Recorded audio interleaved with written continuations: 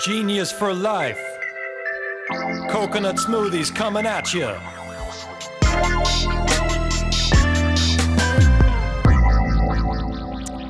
Hello there. Welcome to episode 49 of 15 Minutes of Genius.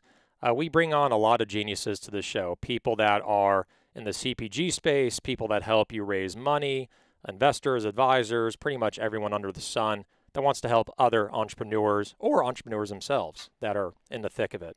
So, really excited. I have an awesome, awesome guest on today. Um, really good friend of mine, lives right in San Diego, not too far from me. And uh, but before rolling into our guest, want to give a big plug to Mark Nicholas, Mark N at ManhattanBeachStudios.net. There he is, big thumbs up right there. Kind of the Bill Clinton thumbs up, you know, a little like that, like, hey, how you doing? So anyway, there it is. It's Bill Clinton thumbs up. All right. So again, Mark Nicholas, Mark M at NBStudios.net for all your editing desires, photos, videos, everything you want. All right. So my guest, Justin Renfro. Justin leads growth and operations at WeFunder.com, an investment platform helping entrepreneurs raise capital. WeFunder has a global audience of investors and makes it easy for founders to raise capital from both accredited and unaccredited investors. Justin enjoys working in collaboration with founders to help them find the best avenues for capital raises. A LinkedIn post today, so far in the history of WeFunder, 230 million raised across 1,400 founders with 900,000 investors banked on WeFunder. Justin, how's it going, my man? Booyah, Shah. What's up, brother? I'm so stoked to be here. Love it, man. We're stoked to have you, dude. It's a long time coming, dude. So thank you for being part of our show. You're actually the first expert on crowdfunding that we've had on this platform. So um, awesome to have you, man. I'm honored. Thank you for having me. And there's a lot of people out there that uh, looking for money. So this is going to be a very valuable, I would say invaluable, even better than valuable, invaluable, uh, um, you know, show and information for entrepreneurs out there. So let's let's get into it because um, we only have about 15 minutes, a lot to unpack here. Let's go into WeFunder. Tell us about WeFunder. Tell us how it helps entrepreneurs. How do you get on there? Um, entrepreneurs that want to get on there, where, who do they contact? Tell us more about the platform and how we can raise money on WeFunder. Definitely. Uh, you can just go sign up at WeFunder.com. You know, we're designed to help uh, startups raise capital faster and easier. It's been uh, a really awesome um, kind of wave of interest over the past year, especially. Uh, you know, when COVID hit, I think entrepreneurs started to look for different avenues uh, that existed. And, um, you know, with WeFunder, it just makes it, you know, it makes it easy to fundraise in the context that all the investment contracts are managed. We kind of oversee all the compliance and SEC related stuff. Uh, and it makes it faster in that you can both fundraise from you know, for a CPG brand, you can fundraise from your customers, you can fundraise from accredited and unaccredited investors. They can just go check out and invest and get equity in your company with a with a credit card and a minimum of hundred dollars. So really opens the doors to uh, to de- democratize capital, which is really our core mission.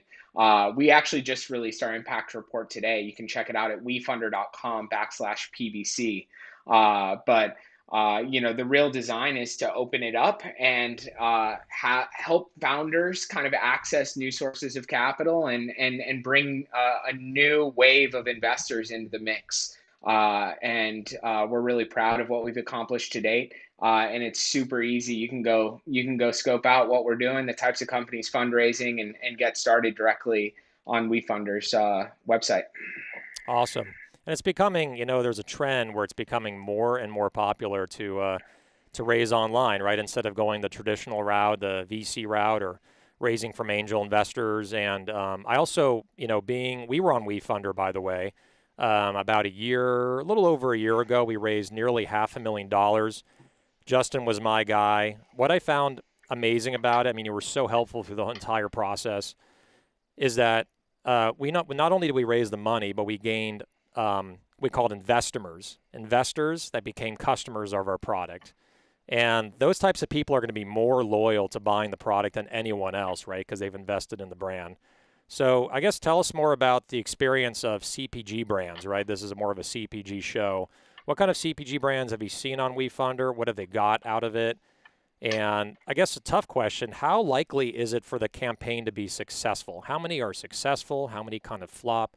Tell us more about how you guys help entrepreneurs be successful on this platform. Yeah, no doubt. Shameless plug for Genius Juice in my fridge. Favorite CPG company of all time. I'm going to drink it while I answer this question. Alex is the man. Love it. Um, you know, you you you mentioned one important kind of piece, which is, hey, as you get new investors, they're going to be customers. Uh, on the flip side, you have a lot of customers, and you're now converting them to investors. So you kind of get it on both ends, which I think is a really unique value proposition.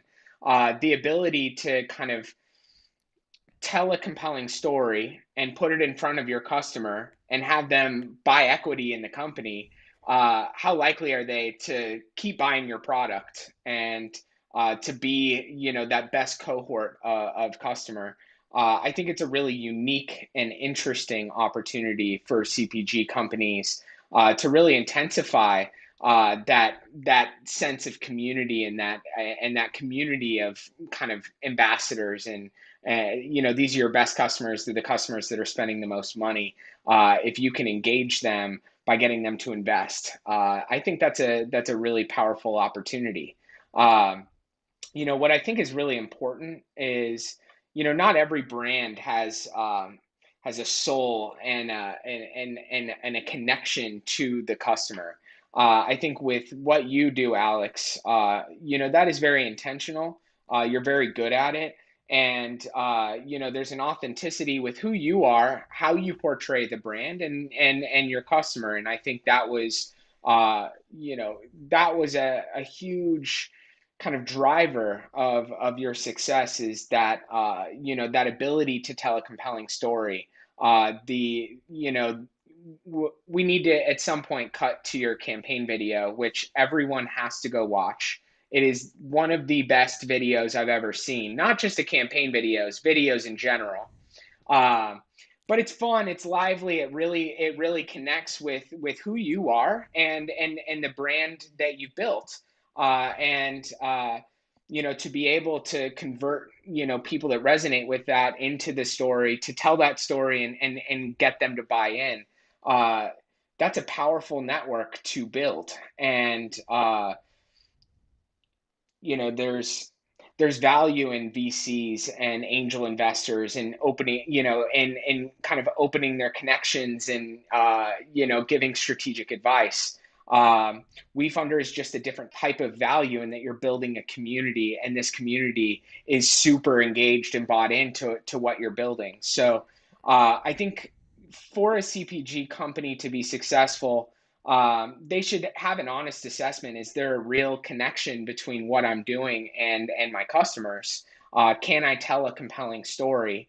And um, you know, to what extent do I want this to be a, a, part of who we are? You know, built from the community, and and uh, it, does that connect with the core ethos of the brand?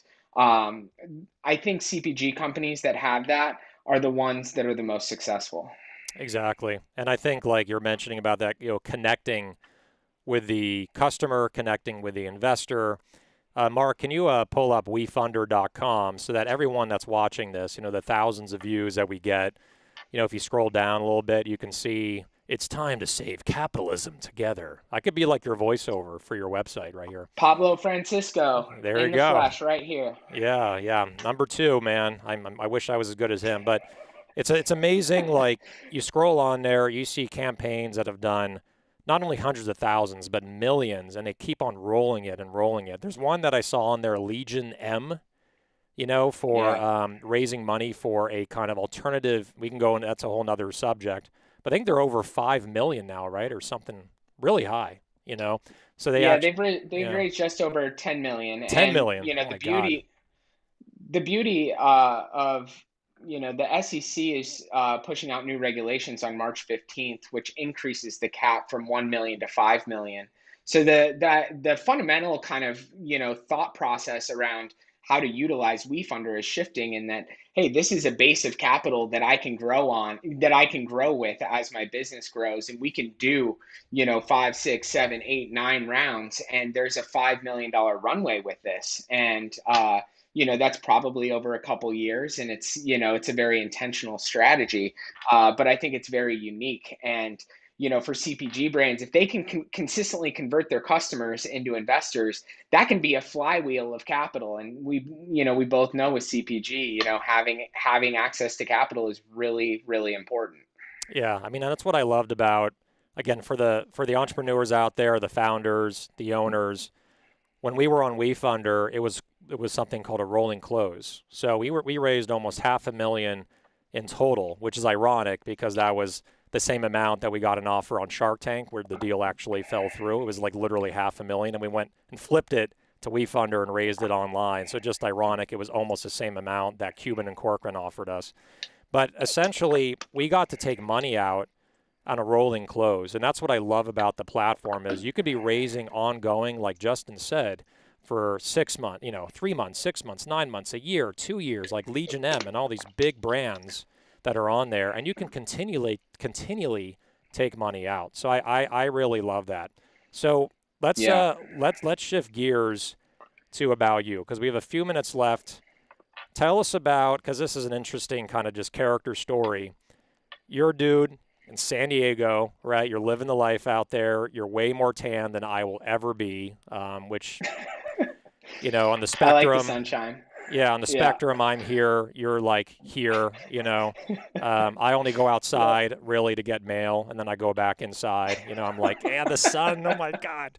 So, but anyway, I'm a night. I'm a night uh. crawler, um, kind of. So, tell us about your life. Your life on a boat.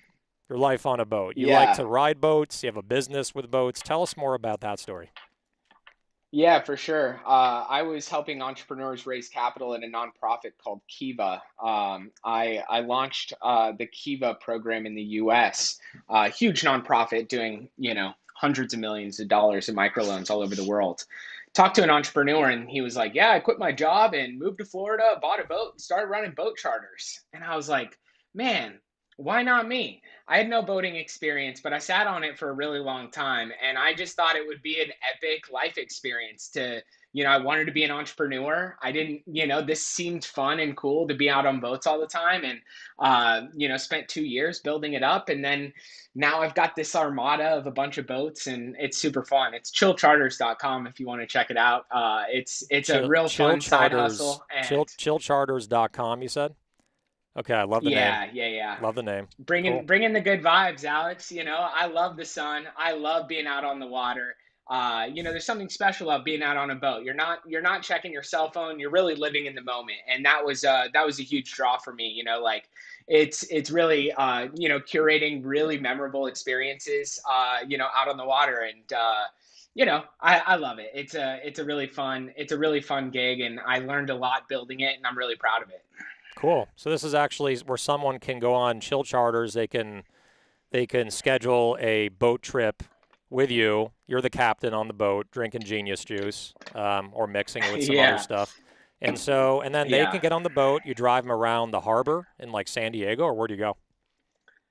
Yeah, so I've uh, hired out a network of captains that do most of the chartering for me now. Uh, you know, but uh, we have the just an epic cast of characters that uh, that are that are kind of working with me on this. Nice, uh, nice. The the the bread and butter is go out, forty five minute cruise, throw the anchor down, get the tubes out, party in the water, cruise back, three four hours. You're loving life, and uh, it's very oriented around just like we're gonna anchor. We're gonna party. We're gonna have a good time. We're listen, gonna listen to good music. We're gonna have drinks. We're gonna, you know, we're just gonna we're gonna live it up.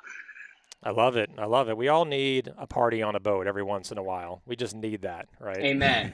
Amen. Love it. So let's circle back to WeFunder, okay? Because I have a lot of there's entrepreneurs that are trying to get a hold of WeFunder. I know you guys. I think do you guys have a waiting list right now. I mean, if someone wants to raise on WeFunder, there's a vetting process. Not just anyone can get onto WeFunder. How does your vetting process work? Tell us, like, for a minute or two, how easy is it to get on there? What is the process? Is there a waiting list to get on and start raising money? Tell us more. Yeah, so uh, the new regulations start on March 15th, uh, and it's going to fundamentally shift how uh, how founders can utilize WeFunder. Previously to March 15th, you, you know there was a host of paperwork filing the Form C. You know you needed re- reviewed financials, the legal contract, all these legal disclosure pieces, um, and and you had to have all of that completely finished before you started to fundraise. Now you can do that in parallel. So you don't need these financials before you start a fundraise. So you can literally go to the WeFunder website, create a campaign page, and start invi- inviting investors from your community uh, in to to invest in your company. And uh, if you find that there's demand and you're getting momentum, uh, we'll we'll come in work in parallel as we figure out all of the financials and making sure that everything's square. We're compliant uh, with the SEC, and then we're off to the races. Uh, you know, uh, it's it's it's going to be amazingly simplified uh, and allow anybody to go start a campaign. Um, you know, for us, we look at social proof more than anything uh, when it comes to underwriting. Uh, if you can bring in fifty thousand dollars of investments uh, that to us is a signal that this is a serious uh, this is a serious deal, and we're gonna we're gonna you know rally around it. Obviously, you know we can't support um, escort uh, escort companies or uh, you know there are certain industries that we can't work with, but right, right. for the most part, we really aspire to be a democratic platform. Anybody can go raise capital. If you're if you're successful in raising capital, we're gonna we're gonna help you do it. Uh, and uh, you know, for us, there's a $50,000 minimum. So, you know, once you raise that $50,000 uh, from, from your network, we'll come in, support all of the uh, financial and legal pieces, and then we will, uh, you know, we'll, we'll launch you out to the world. Uh, so it's, uh, it's something we're extre- extremely excited about. We think it's really going to open the doors of opportunity for anybody to come in and prove that, you know there's a demand and there's a community and people people want to invest in this thing that's what we want to encourage so uh, i actually don't like the concept of us being gatekeepers i think that if you have real money in your community behind you uh, you know and it's legal uh, and it's a deal that we can do um, you know we want to do the deal next program we're going to do right now is called rapid fire questions let's go rapid fire questions Let's do this. Okay, bunch of questions, bunch of answers. That was a long applause. he hasn't done anything yet, Mark, and you're applauding him this much? Come on, he hasn't even answered anything yet. You All know right. I'm coming with the fire, Alex. I know, man. These people are clapping for you, and you have done. It's like you're. It's like you're, you know, Sting coming out on stage. You've, you haven't said anything yet, but everyone's freaking clapping. That's that's the amount of power you have. I'll take it. All right, here we go. So here's the questions. Here we go. Just answer what comes uh, to the top of your uh, tip of your head, tip of your brain, whatever that, that phrase is. NSYNC or yeah. Backstreet Boys? NSYNC. I'm a big JT guy. He's the man. Nice. First thing you do when you wake up? Uh, I take my dog outside on a long walk. Nice. Movie you can watch an unlimited amount of times? My favorite movie of all time Ooh, I love. I just love all Quentin Tarantino movies. They're all awesome. Right now, I could continue to watch literally any of his movies. Uh, they they all they all hit the mark. Yeah, Kill Bill, right? That's my favorite from him by far. Song you can listen to an unlimited amount of times. uh, Let It Be by the Beatles. Love that. favorite sport to watch. Uh, I'm a massive Los Angeles Clippers fan. I try and watch every game. Uh, diehard, uh, diehard Clippers fan, and uh, a close second come the Los Angeles Dodgers. Nice. And a Clipper is a boat, for those that don't know. So that makes perfect sense right there. Too much sense. Zoom, yeah, Microsoft yeah. Teams, or Google Meet. Which platform do you like the most, or do you hate the least? Google. Uh, I like Google Meet because it just automatically connects every time I book a, a meeting. It's so convenient. There you go. Google Calendar. What is your spirit animal? Uh, I I love harbor seals. Everything's going back to boats here. Clippers, harbor seals, window window seat. Yeah, life on a boat. Window seat or aisle seat on an airplane. Window seat because I like to take a nap on on the wall and have the view, especially flying into San Diego, which has the coolest view out the window, uh, flying right in through the through the heart of downtown. Love it. Peanut butter or almond butter or neither? I really dislike almond butter. It's probably one of my least favorite uh, like cabinet foods. Okay, that's uh, Big this- peanut butter guy. The baked peanut butter. Okay, let's go with that. Omnivore, flexitarian, vegetarian, or vegan? I'm gonna go vegan because I love you, Alex. I know you're a vegan. I know you rep it hard, and I'm gonna rep it hard with you. So vegan is definitely the way of the world. I'm not a vegan, but I, that's what I would rep if I had to pick a team. Nice. Vegans unite, man. Let's do a vegan protest, man. Cold weather or Hell hot weather? I, I Uh, what do you think? I'm gonna skip that question because it's so obvious. LeBron James or MJ? Uh, oh. MJ. I grew up in Chicago in the 90s. There you go. Come on, that goes without saying. Ginger or Yeah. turmeric? Ooh, uh, I like ginger. Uh, ginger's a really nice thing to put in cocktails. Love it. All right, favorite food or drink if you're stuck on a deserted island and you cannot say genius juice? Sorry. I need to say genius juice. Uh, I would probably, I'd probably pick my SodaStream because I drink that like way too much. I'm, I'm kind of addicted to SodaStream sparkling water. Nice. Shout out SodaStream. Hopefully, hopefully they send you a free, you know, model or kit. All right, so that I'm gonna be famous now. I, Hell I'm yeah. on 15 Minutes of Genius. I've made it. I feel like I feel like I'm peaking at this moment.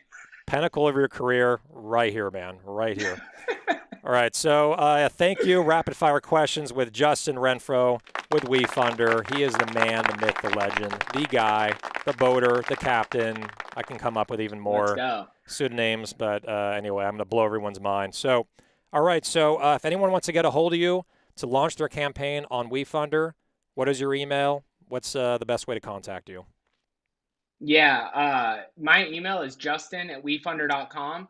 Uh, if you're a CPG company, I've got a I've got a really good friend on my team that uh, is kind of leading the charge with CPG. So I'll get you connected to him, and he'll he'll make sure you have an awesome campaign. That's his big focus, and uh, we're really excited to to you know to to double down on this industry and and and and make it happen. We see we see a lot of value, uh, you know, in that vertical. Love it. WeFunder team is great too. Just big shout out to Johnny, you, you know, everyone else that we worked with to make our campaign successful, many others successful. You guys, I love you guys. Love you. You guys are awesome. So thank you For for sure. join. Thanks for joining us, Justin. Episode 49, and uh, have a wonderful night. And uh, I'll see you uh, coasting to the sunset at some point. Yeah, brother. Thank you for having me. I had an absolute blast. You're the best. Cheers, awesome, homie. man. Enjoy Genius. All right, man. Best, even uh, even good to the last drop. Genius juice, as you could see, Justin drinking it. All right, so that's episode 49, 15 minutes of Genius. Uh, my boy Justin Renfro, WeFunder. Make sure to get on there if you want to raise money. It's a great new way. It is the future of raising capital and democratizing. I can't say it enough. It's a great route. So, uh, big plug again to Mark Nicholas, Mark at HeavyBeatStudios.net for all your editing desires. And uh, one last thing stay capitalized and genius, my friends. Genius for life. Coconut smoothies coming at you.